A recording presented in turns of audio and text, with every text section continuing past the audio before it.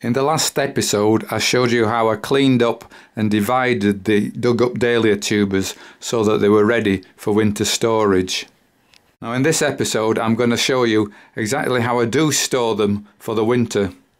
Now, I need to say at this stage that this is not the only way to do it, it's not the way to do it, it's my way of doing it. Some people choose to store them under the bed, other people store them in the attic, other people put them in the in the under the staging in the greenhouses. I choose to store them in my greenhouse but in a large box. And I cover them in potting compost. Again, some people will use different mediums. Some people will use wood shavings, other people might use perlite, but I choose to use compost. Also, at the end of the last episode, I showed you how I'd put the pot tubers into the garage to keep on growing for a while, to, so that they got time to dry out. Well, in this episode, I'm going to show you how I cut them down and store them too. So it's about time I started putting them away for the for the winter. It got down to below freezing last night. so I covered them up with fleece just to be sure. All the tubers that are cut have now healed up and dried. I'm now getting ready to store these tubers for the winter. I've already built my big box.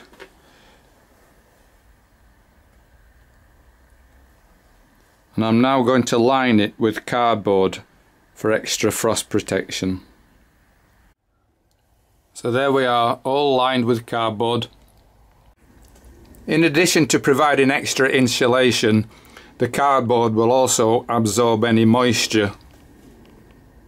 Firstly, I put a layer of compost on the bottom of the box.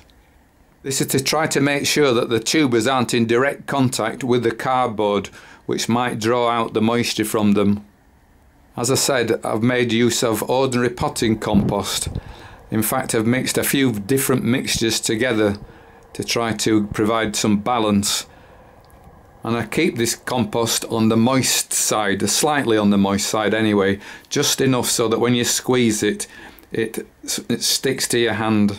I don't want the compost to be so wet that it rots the tubers, but nor do I want it to be so dry that it draws the moisture out of the tubers, so slightly moist is best.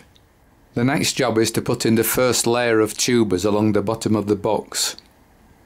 I try to make sure that all the tubers are facing upwards so that if they do start to grow during the late winter, the growth goes upwards so that you don't end up with a tangled mess at the bottom of the box. I then covered the first layer of tubers with another layer of compost to cover them up more or less anyway. I continue to fill up the box with a layer of tubers followed by a layer of compost until eventually all the tubers have been put away and are under compost. Once I've finished with the larger field tubers, which I've labelled individually and stored separately, I turn my attentions to the dwarf dahlias. I've got quite a few hundred of these and, and it's quite a laborious process to label each individual tuber so I don't do it, I just store them in a box, one per, one per variety.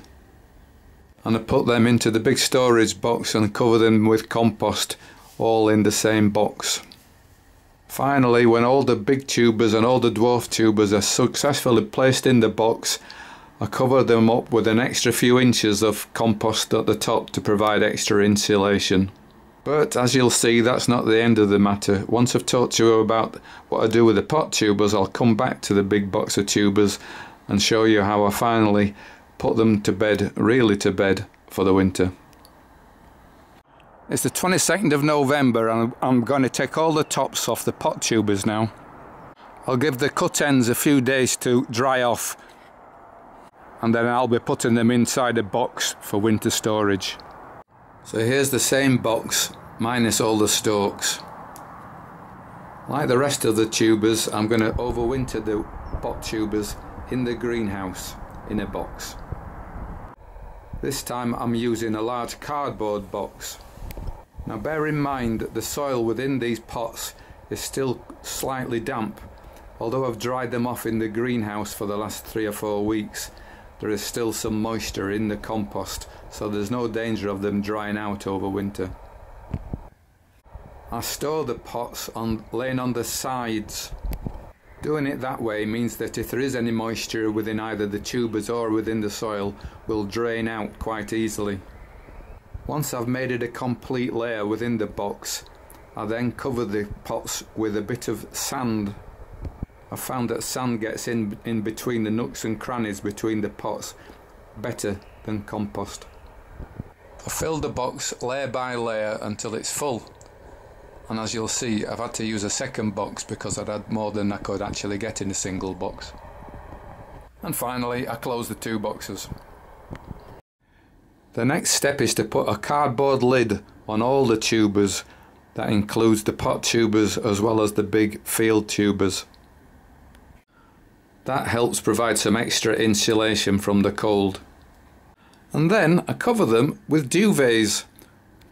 Over the years, if any member of the family's thrown out an old duvet, I've said, I'll have that, and I've used it every year. I put a few layers of duvets now that I've got quite a few, so that it builds up quite high.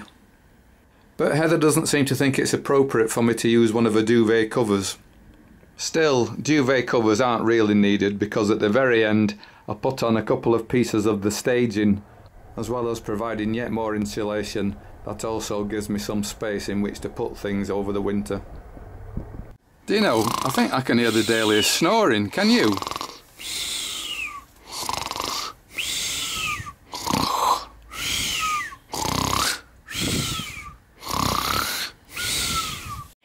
You've been watching episode 17 of Geoff and Heather's Dahlia Diary, and I'm sure you will have guessed this is the last episode. We hope that you have enjoyed watching our diaries as much as we've enjoyed making them. If you're already a dahlia grower, we hope we've given you some new ideas.